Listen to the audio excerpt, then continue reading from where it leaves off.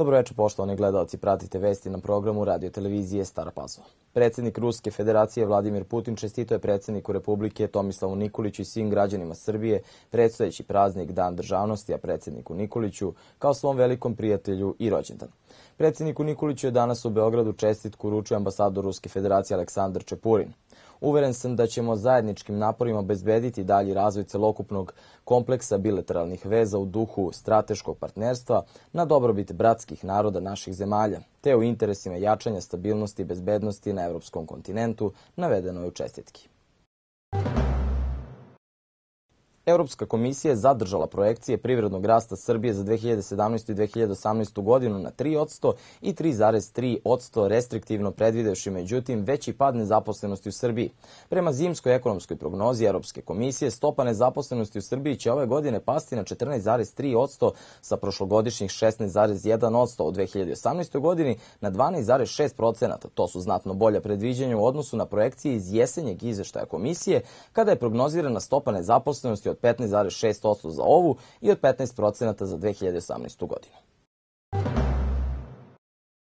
Na aukciji dresova poznatih sportista sinoć u Central Baru u Staroj Pazovi za malog Stojana Radeku prikupljena 741.000 dinara.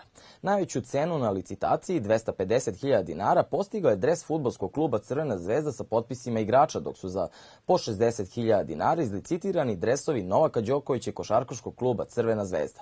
Kolekcionari su imali priliku da otkupe 25 dresova u kojima su igrali između ostalih i Dušan Tadić, Ivana Španović, Dušan Lavić i mnogi drugi poznati sportisti koji su na ovaj način dali svoj doprinos za prikupljanje sredstava za petogodišnjeg Stojana Radeku.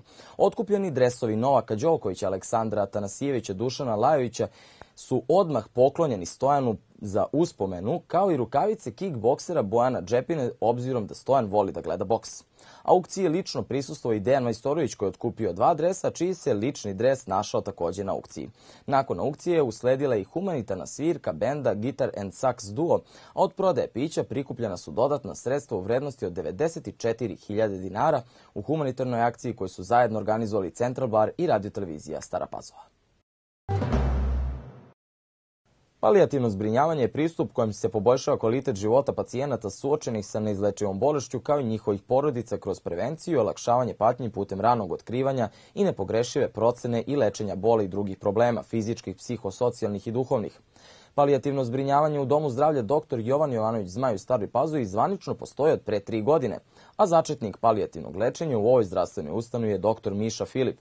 Jedinica za palijativno zbrinjavanje pri službi za kućno lečenje raspolaže sa tri lekarska tima, čime su pokriveni pacijenti sa čitave teritorije opštine koji 24 sata, 7 dana u nedelji mogu računati na njihovu pomoć. Jedinice za palijativno zbrinjavanje postoje u Staroj i Novoj Pazovi kao i u Podunavlju.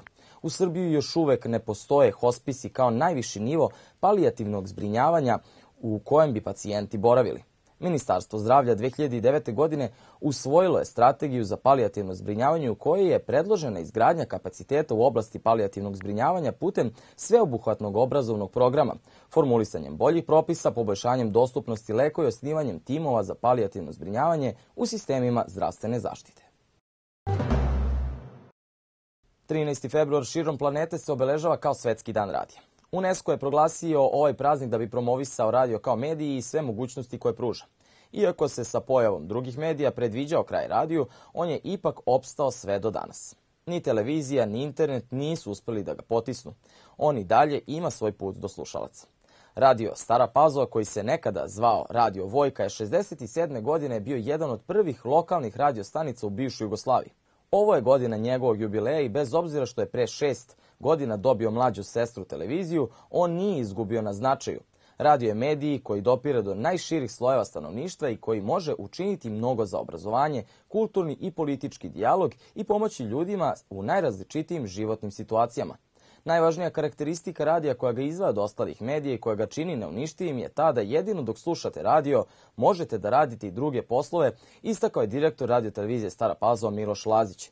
Svetski dan radija je UNESCO utvrdio 2011. godine i to baš zato što je 13. februara 1946. godine prvi put emitovan program radija Ujedinjenih nacija. Pazovačka, ali i publika iz okolnih mesta i iz Beograda koja nije mogla da dočeka koncert u Sava centru uživala u subotu 16. put na koncertu Legendi u Staroj Pazovi. Interesovanje i ovog puta bilo veliko, a primetno je da na koncerte Legendi dolaze i mlađe generacije. Pored standardnog repertoara bile su zastupljene i numere koje su u prehodnih 30 godina koliko grupa postoji, kako kaže Zoran Dašić, kompozitor, tekstopisac i gitarista, nepravedno zapostavljene. Legende za čije pesme se kaže da su prava poezija, izveli su i nekoliko novih pesama. U Staroj Pazoji može publika za sigurno da ih očekuje i naredne godine.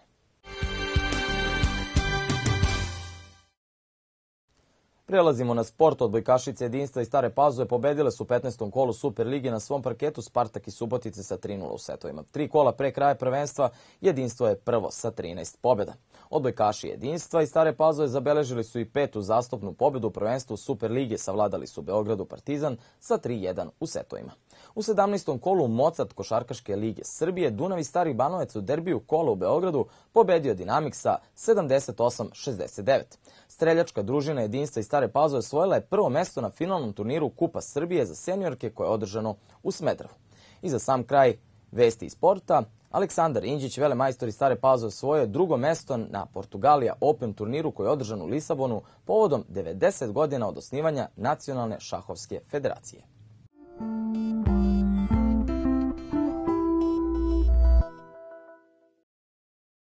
Za sam kraj vesti vremenska prognoza. Pretežno sunčano biće i sutra, ali hladno. Jutarnja temperatura minus 4, dnevna najviša 3 stepena.